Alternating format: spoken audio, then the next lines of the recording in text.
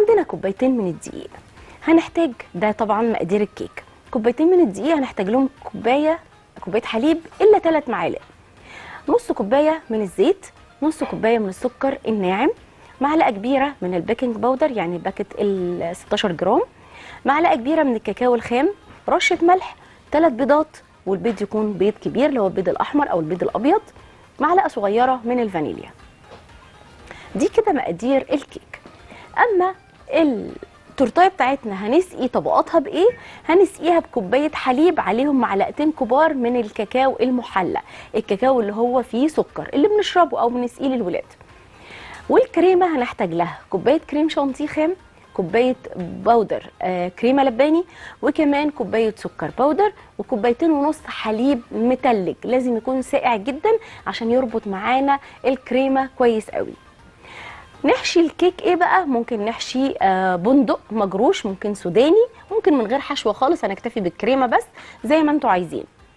أما تزيين الوش هنحتاج له كوباية من الشوكولاتة الخام الدارك مبشورة آه، تلات أرباع كوباية آه، عندنا كمان آه، معلقتين كبار من الحليب معلقتين كبار من الزيت وكوباية كريز آه، ده علشان نعمل صوص كده نحطه على وش ال- آه، الكيكة تمام؟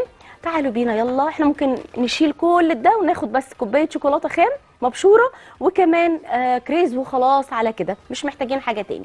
تعالوا بينا بقى علشان نشوف هنعمل إيه. بداية الكيكة بتاعتنا لا محتاجين لها ولا فرن ولا خلاط ولا كمان مضرب ولا أي حاجة خالص. تعالوا هنعملها بكل سهولة وفي خمس دقائق بالظبط.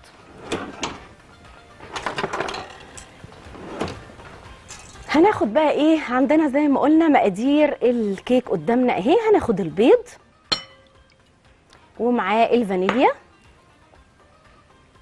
طبعا حطينا بيض يبقى على طول الفانيليا معاه. نبتدي نضربهم كده مع بعض.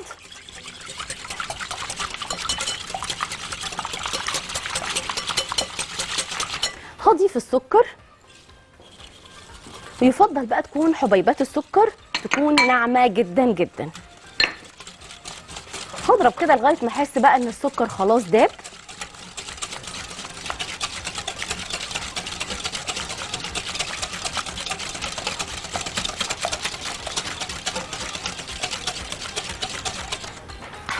أحط الطاسة بتاعتي تسخن كمان وآدي الحليب ونكمل ضرب. أنا أهم حاجة في الموضوع إن السكر معايا يدوب تماما.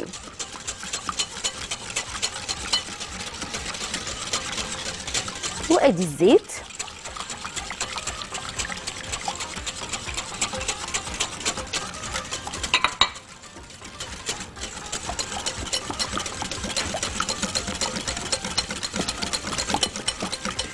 عندي ذرة ملح هضيفها. يعني على طرف المعلقة بس. ملح مش أكتر من كده. هكمل. خفق. وأما ألاقي إن السكر داب تماما ودي أهم حاجة في الموضوع أبتدي أحط الدقيق. أحط ال baking powder. وأحط كمان الكاكاو.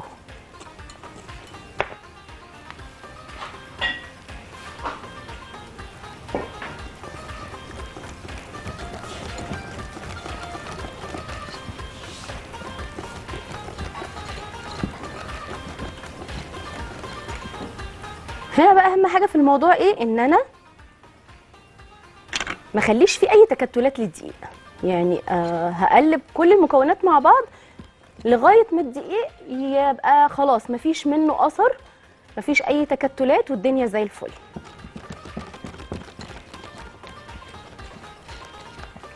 أهو ده خليط الكيك. زي الفل.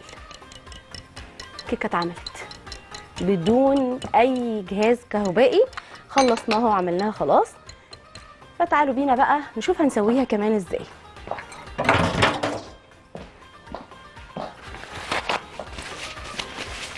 هنحتاج طاسة مقاس 24 المقاس ده مظبوط جدا. أنا بس ما لقيتش عندي 24 ف 26 متاحة. بس في البيت الطاسة مقاس 24 هتطلع معاكي يعني حاجة كده 10 على 10 حطاها على النار والأهم من كده إن النار تكون هادية النار ما تكونش عالية. هاخد حوالي معلقة من الزيت أحطها بسم الله الرحمن الرحيم. وابتدي أوزعها بالفرشة.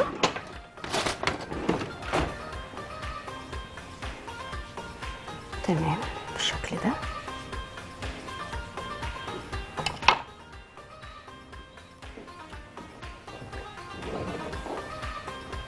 احس بقى إن هي خلاص سخنت فهبتدي آخد من الخليط اللي إحنا عملناه مغرفة كده مليانة وأحطها وأبتدي أفردها.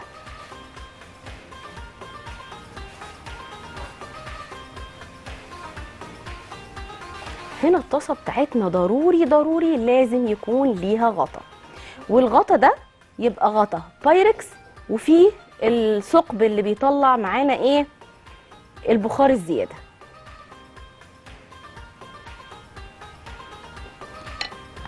خلاص ظبطت كده الكيك زي ما أنتم شايفين في الطاسة الدنيا تمام. ادي الغطا. وادي الخرم اللي بقول لكم عليه اهو. تمام؟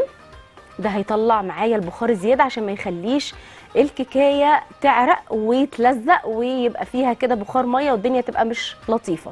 فخلينا كده سايبين الكيك على نار متوسطة علشان يستوي. على ما يستوي تعالوا نعمل مع بعض الكريمة. تعالوا بينا بقى نحط كل مكونات الكريمة هنا.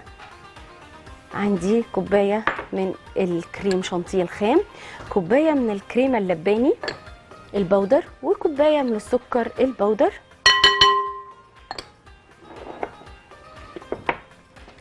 إحنا هنحتاج المضرب بقى. المضرب بقى لازم عشان الكريمة. ما ينفعش كريمة من غير مضرب فاحنا مضطرين للمضرب. هنا الكيك زي ما أنتم شايفين كده مش عارفة باينة معانا ولا لأ بس بدأت خلاص تنفش وتعلى. فهنسيبها ما نفتحش عليها خالص خالص لمدة خمس دقايق ما تفتحيش عليها تماما. سيبيها علشان تاخد راحتها في التسوية. مش خمس دقايق قوي يعني حوالي أربع دقايق كده. بقى مكملين بنعمل الكيك وعايزة اوريكم الكيك اللي في الطاسة أخبارها إيه. خلي دايما معاكي منديل كده لما تيجي تفتحي الغطا عشان لو في مية زي ما أنتم شايفين كده البخار المية موجود. فابتدي أشيل بالراحة كده وأمسحه سريعا. وأرجع أرجعه تاني. ما شاء الله الكيك بقت هشة. قربت تستوي لسه ما استوتش. فنغطي عليها ونسيبها تاني. هنا بقى هبتدي أعمل ال ال ال اللبن اللي هنسقي بيه الكيكة. خير.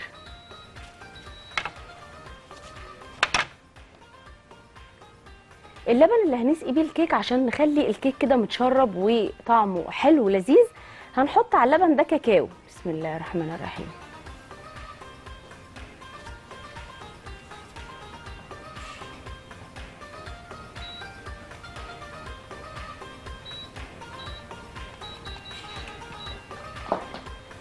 عشان كده قلنا هنحط عليه كاكاو محلى. كأننا عاملين مشروب كاكاو هنشربه. بس بارد. تمام؟ أهو بالشكل ده. شغلته. كده تمام جدا. جهزنا اللبن اللي هن... هنشرب بيه الكيكة. هنا عندنا كوباية من الكريم شانتيه كوباية من الكريمة اللباني البودر وكوباية من السكر البودر وتعالوا بينا بقى ناخدهم كده علشان نبتدي نخفقهم مع بعض وادي اللبن المتلج. وكل ما اللبن كان متلج أكتر كل ما النتيجة هتبقى أروع. عندي كوبايتين ونص مش هحطهم كلهم. هضرب وبعدين هبتدي أزود واحدة واحدة.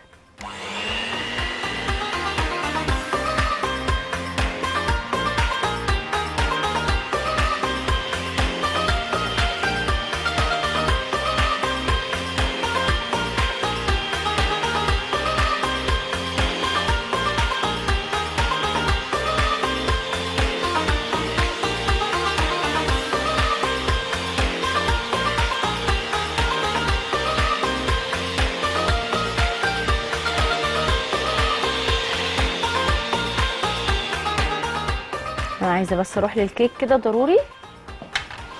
بسم الله. كده خلاص. تمام زي الفل.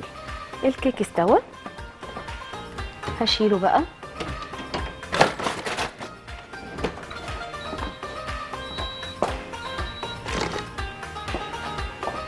سلك كده الحروف. بصي والكيكاية تنزل معاكي على طول على ورقة زبدة علشان تبقى آه ما تلزقش تحطهاش على طبق مثلا. طبق هتلزق عليه على طول. لازم ورقة زبدة عشان نعرف نخرجها تاني منه. عملنا طبقة كيك تعالوا نعمل واحدة كمان. وقبل ما نعملها لازم نحط زي ما قلت لك معلقة من الزيت. نوزعها. ده هيسهل عليكي. إيه بقى؟ مش هتحتاجي إنك تعملي كيكه على بعضها وتهبط وتيجي تقطعيها. ما تعرفيش تقطعيها ترانشات قد بعض علشان تعرفي تظبطيها. فمفيش أسهل من كده. عايزاكم بس تركزوا معايا كده في قوام الكيك. بصوا. ابتدي أوزع الخليط. وزي ما اتفقنا النار كده إيه متوسطة.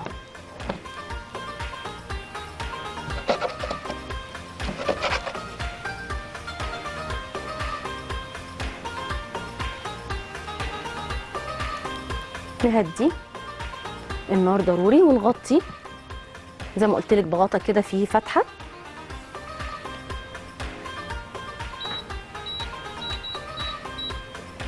ونسيب بقى الكيك بتاعتنا تستوي. إحنا كنا بنضرب الكريمة نكمل. بسم الله.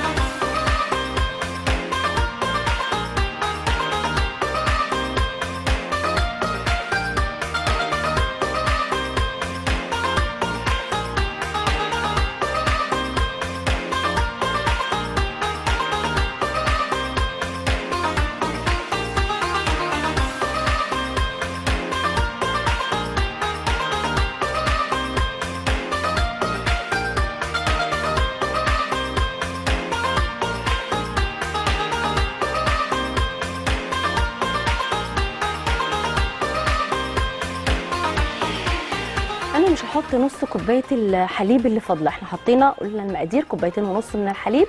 فأنا حطيت كوبايتين وشفت الدنيا معايا. لقيت إن القوام ده اللي أنا عايزاه بالظبط. بصوا قوام تقيل. ما يخليش بقى الكيكة معاكي بتفك كده ومش ثابتة. بصوا الكريمة ثابتة إزاي ما بتقعش. هو ده اللي إحنا عايزينه. ده القوام الأمثل علشان تعملي كيك مظبوط. هبتدي أفضي بقى المضرب. وتعالوا بينا بقى إيه نكمل. الكيك بتاعتنا ما شاء الله عالية وزي الفل وبتستوي والدنيا تمام على نار هادية متغطية ضروري جدا ومش بنقلبها. طيب خلاص كده الكريمة جاهزة. الحليب اللي هنسقسق بيه الكيكة جاهز. طيب هنسقي الكيكة إزاي؟ شوكة.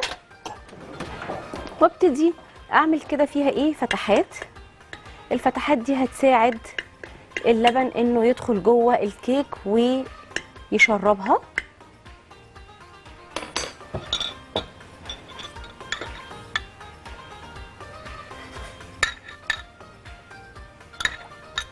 أظن ولا أسهل والكيكة على فكرة هشة جدا جدا.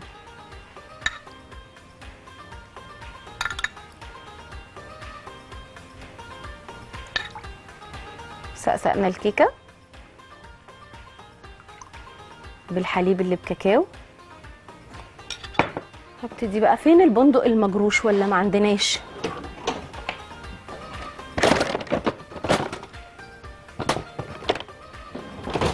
عندنا بندق إيه يا جماعة؟ مش سامعاكوا ولا أنتوا سامعيني خالص. فين؟ آه تحت. ماشي. زي الفل. بندق بقى يكون كده إيه متحمص ومتشال القشرة اللي عليه.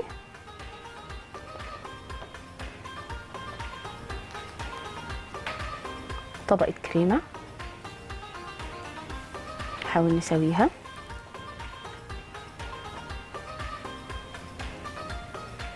شايفين الكريمة قد إيه تقيلة ولذيذة؟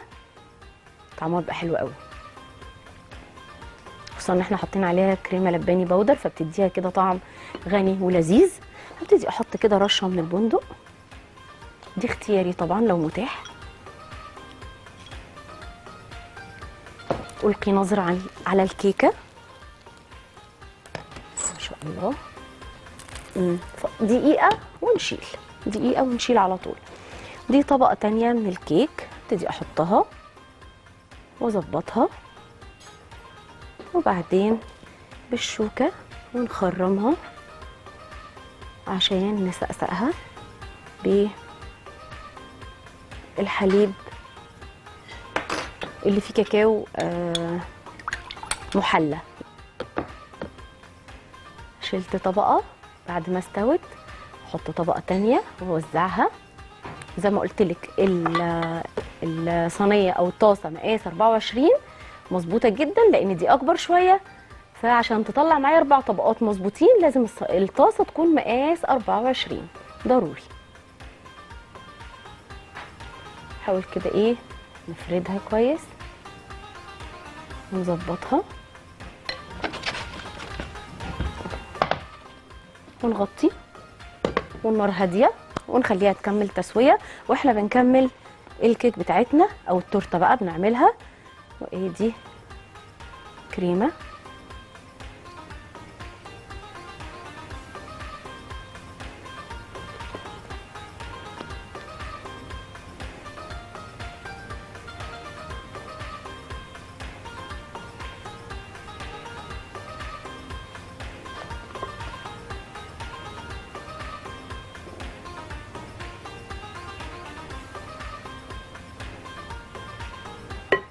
البندق.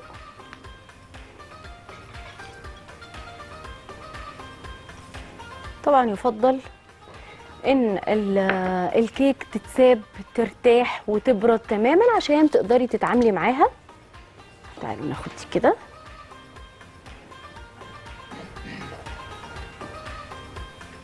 ونسكنها كده عشان إيه طبقات تلزق في بعض. وبالشوكة زي ما اتفقنا فتحات كده بسيطة.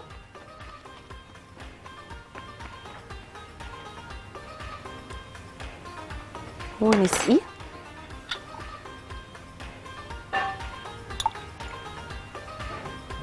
من أسهل تورتاية ممكن تتعمل. سهلة وبسيطة ولذيذة ونتيجتها كأنك عاملة تورتاية آه، في الفرن عادي جدا أو الكيكه في الفرن عادي جدا. الموضوع بسيط قوي لو ما عندكيش فرن أو ما بيظبطش معاكي الكيك فهتظبطيه ويبقى زي الفل.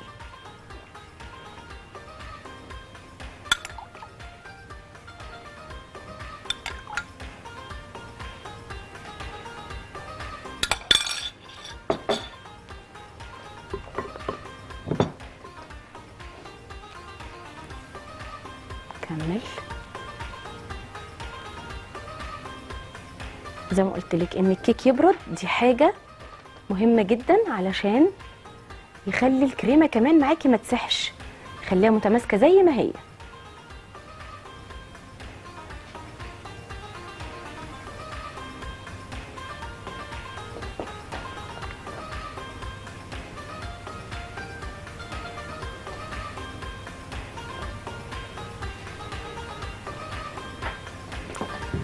آخر طبقة نحط بقى شوية البندق وبعد كده آخر طبقة من الكيك.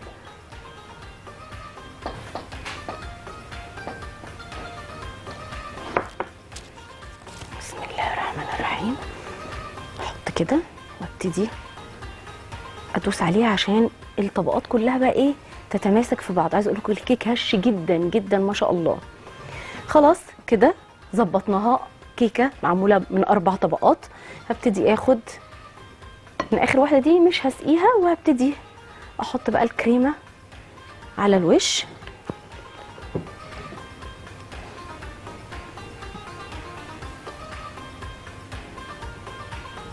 والجوانب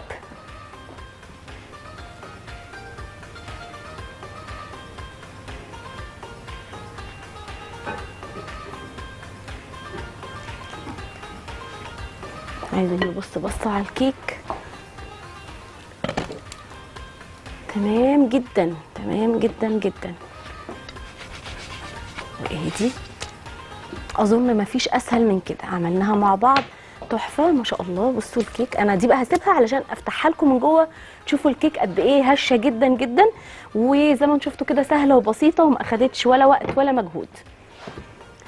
هنجلس الكيك بتاعتنا بقى بالكريمة. وبعدين ندخلها التلاجة علشان تبرد تماما قبل ما نبدأ إن إحنا نكمل التزيين بتاعها. لازم تبرد وتتماسك.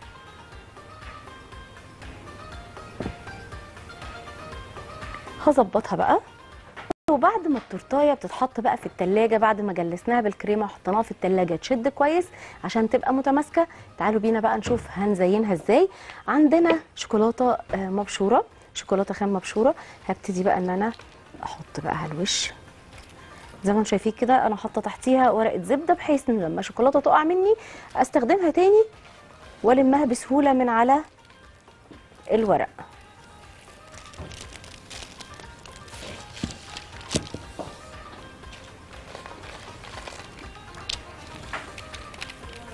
ده كده هيكون أسهل تزيين ممكن تعمليه.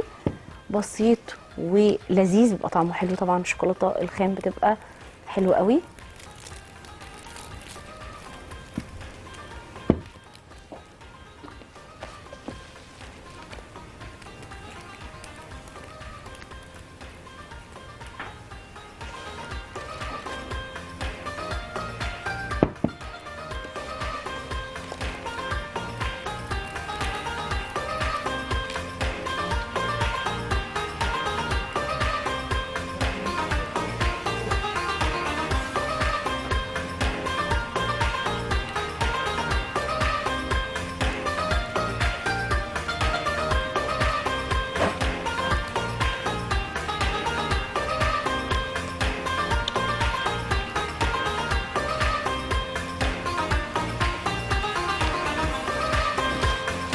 وباقي الشوكولاتة هيبقى على الوش بالشكل ده.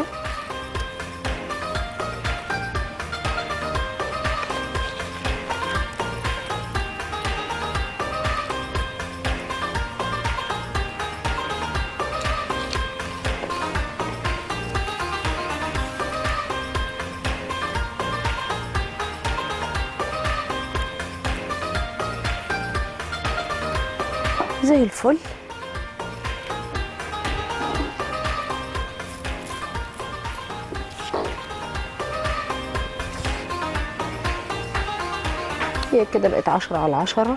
خلصنا خلاص. اتقفلت بالشوكولاتة من بره. لو في حتت كده ال- الكريمة باينة فيها برضو مفيش مشكلة. هي أصلا يعني حتى الكريمة الحتت اللي باينة شكلها لطيف جدا. آخر حاجة ممكن نعملها إيه في الكيكة؟ إن أنا أعمل آه، وردات كده من الكريمة. بسم الله. الحتة دي محتاجة شوية أحط لها. زي الفل. ناخد بقى وردات كريمة.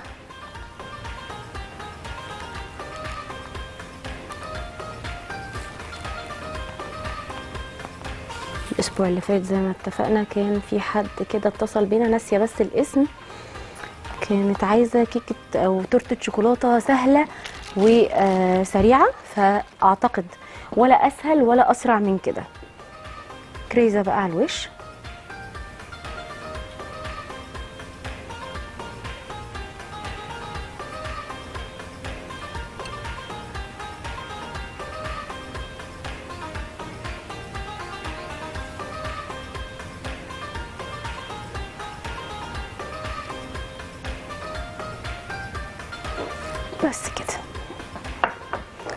أعتقد ولا أسهل من كده. هنضف بس ال- الستاند بتاعنا علشان نقدم التورتاية كده خلاص. تنسوش إن إحنا قلنا في هنا ورقة زبدة محطوطة عشان أقدر ألم الشوكولاتة بعد ما بنخلص ونرجع نستخدمها تاني سواء بتسييحها إن إحنا ندخلها في صوص أو حاجة أو لو ناقصنا هنا شوية شوكولاتة ممكن ناخدهم. الكيكه اللي إحنا كنا عاملينها مع بعض كيكة كانت قد إيه سهلة وبسيطة جدا.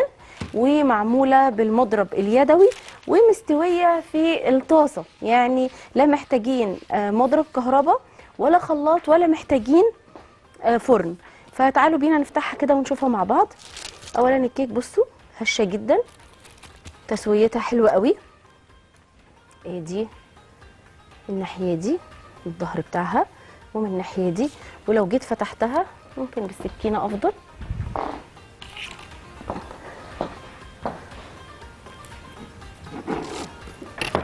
بصوا بقى الكيك مفرغة إزاي؟ مش عارفة هتبان معانا ولا إيه. بصوا بصوا الكيك هشة إزاي؟ مفرغة جدا وطرية. لا بجد بجد خطيرة. يعني بجد لازم تجربوها. دي تورتاية أسهل تورتاية ممكن تعمليها في الدنيا. سهلة وبسيطة وشيك ورقيقة وكل حاجة. آه يا رب تكون عجبتكم.